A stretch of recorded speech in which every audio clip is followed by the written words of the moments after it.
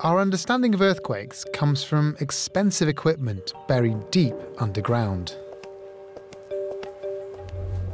This bunker contains some of the most sensitive seismic equipment on the globe.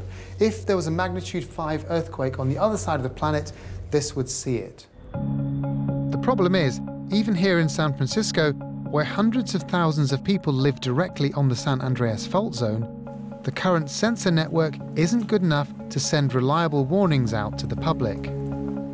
Building thousands more seismometer stations at about $80,000 each isn't really feasible. But luckily for Californians, a much cheaper solution might just be around the corner. Dr. Elizabeth Cochran is an LA based geophysicist who's passionate about teaching earthquake science to her local community. So we're going to try and demonstrate our different kinds of waves. She's figured out a way to use a cheap $40 seismometer to transform a regular laptop into an earthquake monitoring station.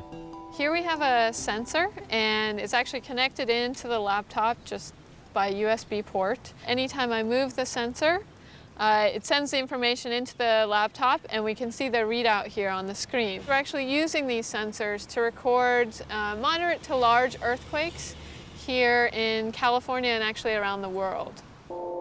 But Elizabeth's real breakthrough is to recruit a network of thousands of volunteers to host these sensors. All they need to do is plug them into their laptops, tape them down, and then they'll start sending vital earthquake data to a central computer for analysis.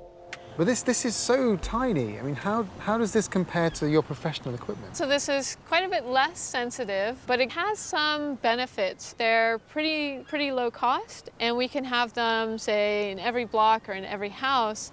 How does this become part of an early warning network then? What these sensors do is they fill in between our, our large network sensors, and we can get more, more records faster and get the location and the magnitude much more accurately. Every additional piece of information we have will allow us to have longer warning times. Already, Elizabeth's recruited over 2,000 citizen scientists.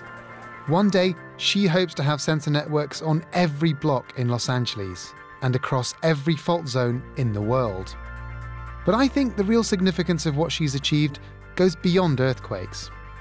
This might be small, but I think it opens up a new era in science, when research isn't confined to universities and expensive laboratories, but it's something that we can all take part in.